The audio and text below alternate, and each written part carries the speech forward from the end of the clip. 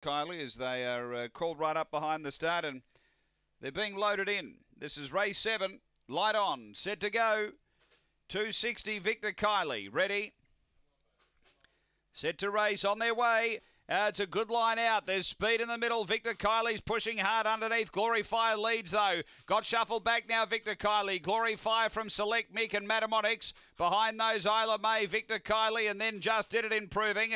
Next Aston Harpo and Big Black Sian. They race to the bend. It's Select Mick the inside. Matamonics around the outside. Matamonics Select Mick. They drive. Oh, head bobber. I reckon Select Mick Bobden got Matamonics and Glory Fire was next from Just Did It.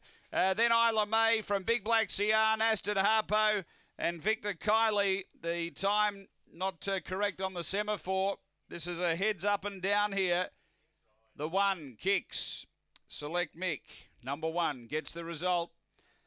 Eight second, uh, which is Matamonics, and third will be number two, Glory Fire for Bronwyn Welsh. Select Mick, Rosa Panagiotou. He's done just enough here. Number one, uh, second to eight, Matamonics for Judy Hurley, and third to two,